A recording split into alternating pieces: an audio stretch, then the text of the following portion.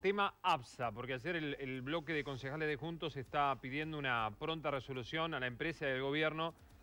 La verdad, para decir las cosas, se está notando que APSA está haciendo obra, porque hay, hay mucha obra en el macrocentro respecto de cambio de cañería. Pero Mirá, si no nos vamos a dar cuenta. Pero como la ciudad está toda pinchada, de hace mucho tiempo, de hace muchos años, este, hay pérdidas por todos lados. En realidad nosotros hicimos un planteo, en este caso le pedimos la intervención al gobernador y al ministro de Infraestructura, porque como vos decías recién, hay obras que se están haciendo de tendido de cañerías en la ciudad, en la cual una de las cosas que le reclamamos es la, la pronta restitución, digamos, de las veredas y, de las bocacalles que se cortan para hacer el tendido.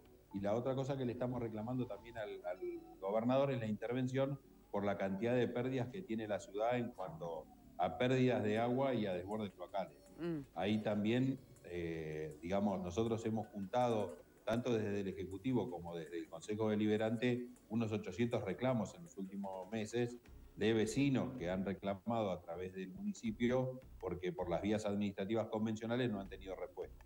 En ese sentido, lo que nosotros hacemos es una, un pedido a través de una resolución, le pedimos a APSA la, la reparación de los mismos, pero es tanta la demanda que el personal que tiene hoy APSA no da abasto para subsanar todas las pérdidas. Bueno, acá el ingeniero Ricardo Gerinsky, hablando con nosotros, sí. mediodía, él reconoció... No, tenía, no tenían previsto nada de cloacas. No, él reconoció dos cosas. Primero, que más del 50% del agua se, se, iba por las pérdidas. Sí. Y que en esta etapa... Este, Cuatro años esta etapa. No ¿eh? iban a atacar el tema cloacas. Cuatro años Con todo lo que significa. sí.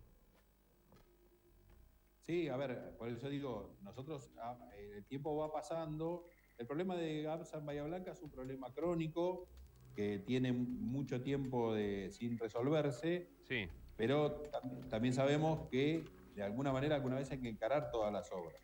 Sabemos que el gobernador Kisilov prometió ya hace dos años una inversión en Bahía Blanca, en aquel momento de 150 millones de dólares para hacer algunas inversiones.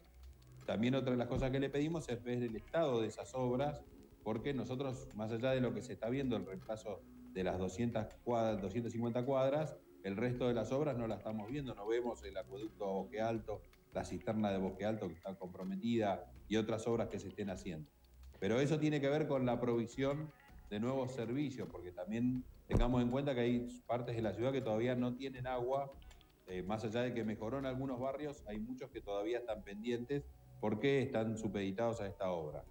Lo que nosotros estamos también pidiéndole ahora es particularmente es la reparación de la cantidad de pérdidas que tiene la calle, porque por alguna, por otra parte también dificulta el trabajo del municipio a la hora de poder reparar vía pública, poder reparar calles de tierra que están a veces en muy mal estado, pero hasta no solucionar el problema de las pérdidas de agua no, no se puede intervenir, digamos. Entonces, hay muchos de los puntos por los cuales necesitamos una pronta intervención, no sé si una contratación extraordinaria de cuadrillas, alguna manera, digamos, de que se pueda hacer un shock en la ciudad de reparación. ¿Sabe, Juglar, que a partir de esta resolución estoy haciendo algunas averiguaciones eh, con respecto a las multas, esta posibilidad que tiene la municipalidad de multar a la empresa APSA cuando se produce, no sé si una pérdida pequeña, pero sí algo más significativo que afecte cuadras y cuadras, que esto también se ve, efectivamente.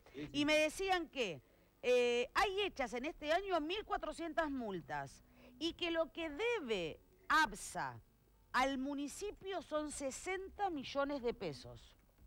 En, en concepto de multa. A ver. El, mayor problema, el mayor problema no es el cobro de las multas, digamos, sino en realidad lo que nosotros estamos pidiendo es la reparación de la calle. La multa sobre el vecino no tiene mayor impacto, servirá después para hacer alguna reparación de lo que se dañó después por esa pérdida de agua, pero tal vez lo más importante es que de alguna manera se produzca la reparación porque hay gente que tiene o un desborde cloacal o una pérdida muy grande de, agua, en muchos casos en la puerta de la casa y eso la verdad que es bastante molesto encontrarse. Por eso, pero digo, entonces es, una cuestión de forma.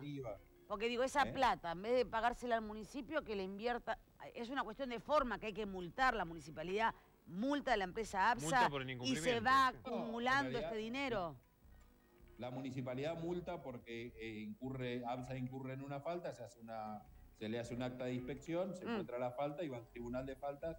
Es el tribunal de faltas, los jueces de faltas quienes aplican la multa. Pero ese es un procedimiento administrativo de mm. sanción por el incumplimiento de ABSA. Pero más allá de eso, que al vecino, digamos, no le... No le resuelve el problema. No. La solución resuelve el problema. Lo que nosotros estamos pidiendo es alguna intervención excepcional para toda esta cantidad de pérdidas, vuelvo a decir, por la bien. magnitud que están. Gracias, Adrián.